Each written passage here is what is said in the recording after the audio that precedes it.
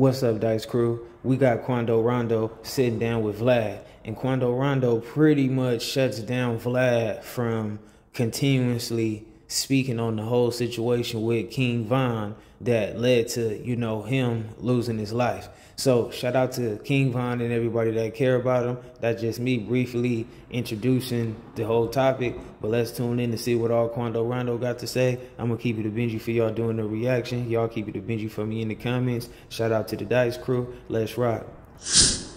You did an interview with Angela Yee in the back of your car. That wasn't my car. That was a rental. Oh, okay. Well, it was a Rolls Royce, right? Yeah. Nice car. Okay. But you did an interview and you talked about the incident that happened. And you said that you and King Von never had any issues. In fact, the last conversation was a good conversation.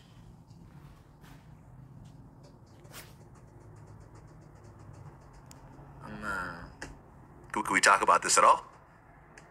But bro, only thing I got to say about that whole little situation, to answer to everything you want to answer, I just explained to you about how, like, just the old Tupac Baby Lane situation, how it was real people back then, and they didn't follow trends of if they knew this was real or that was real, they was with it.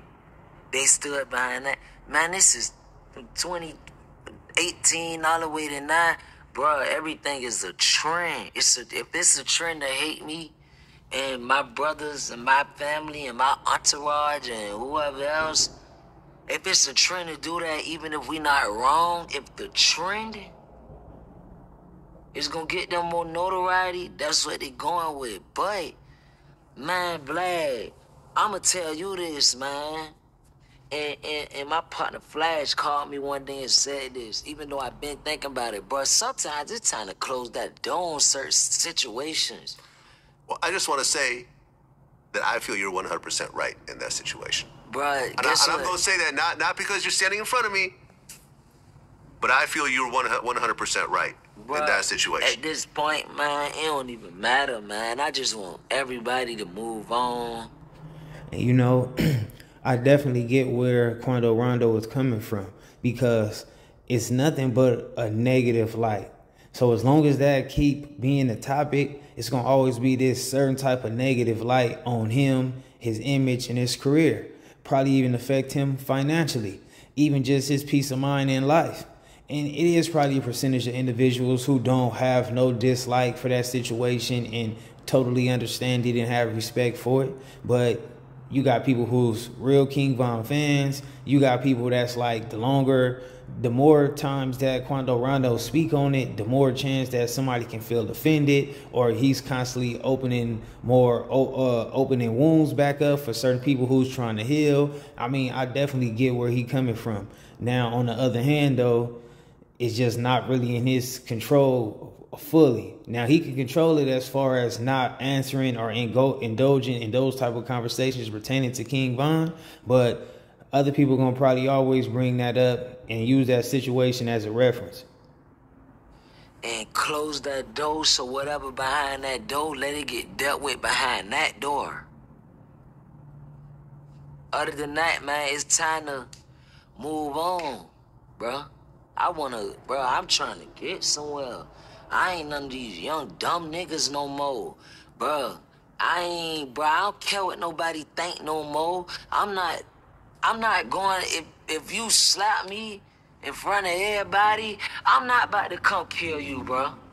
Not because once I kill you and you die and I go to prison and 15 years pass and I'm in a damn cage, everybody who said I went out bad for getting slapped and didn't do nothing is going to eventually grow up, get older and say he went out bad for killing him for, for, for about a Now I'm gonna say this. I don't think that you should just, you know, cause that level of harm upon somebody for slapping you. But I also feel like if you choose to try to slap somebody, you have to assume that that might be the result. You never know when you engage with somebody and you try to cause harm to them. And I'm also not saying that you should run around here just letting people slap you. But, you know, try your best to, you know, return some level of action that would be justified and it would make sense for them slapping you. But I hope y'all get where I'm coming from. slap. Bro, I understand that. And I got more than majority of the people that always put a comment down about Budge. So it's like, but bro, I'm trying to get somewhere. I'm trying to get into these stocks you talking about and all that. Well, I just want to say this, man, and, and we talked about Tupac. The situation really reminds me about what happened to Tupac. If you really look at it.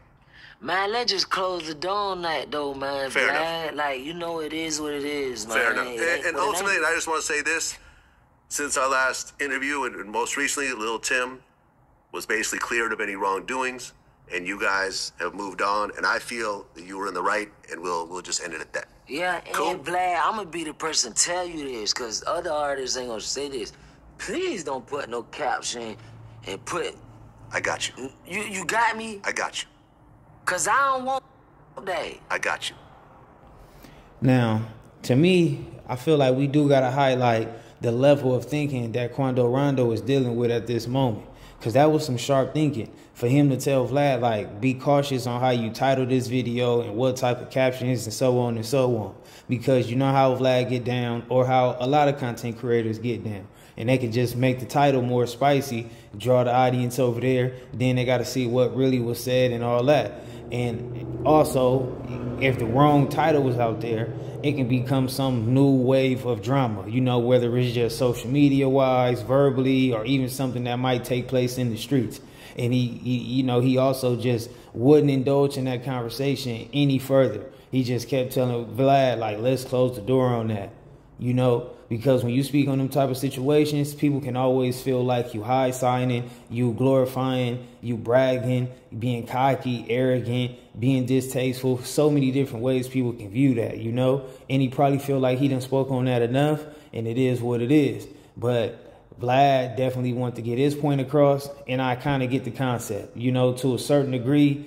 Um, you know, it's a big topic right now in life, as far as hip hop so I understand it, but at least Vlad uh, respected Quando Rondo wishes, and he definitely didn't really title this video a crazy title. So at least shout out to Vlad for that, and shout out to Quando Rondo for his level of thinking. And again, shout out to King Von and everybody that care about him. Shout out to the Dice Crew. Y'all let me know what y'all think about all that in the comments. I'm gonna check with y'all in the next video. I'm out.